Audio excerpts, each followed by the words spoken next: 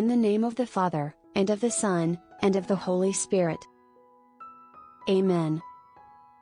Almighty and eternal God, who gave your holy church bless John of Avila as doctor, grant that what he taught when moved by the divine Spirit may always stay firm in our hearts.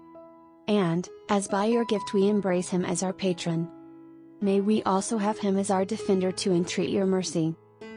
Through our Lord Jesus Christ, your Son, who lives and reigns with you in the unity of the Holy Spirit, one God, forever and ever. Amen. Saint John of Avila, pray for us.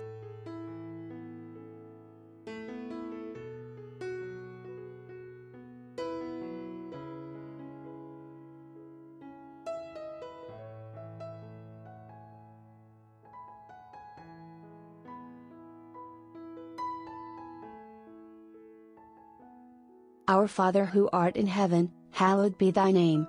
Thy kingdom come. Thy will be done on earth as it is in heaven. Give us this day our daily bread, and forgive us our trespasses, as we forgive those who trespass against us, and lead us not into temptation, but deliver us from evil. Amen. Hail Mary, full of grace, the Lord is with thee, blessed art thou among women, and blessed is the fruit of thy womb, Jesus. Holy Mary, Mother of God, pray for us sinners, now and at the hour of our death.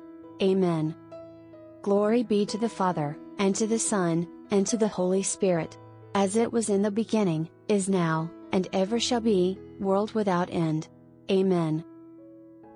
In the name of the Father, and of the Son, and of the Holy Spirit. Amen.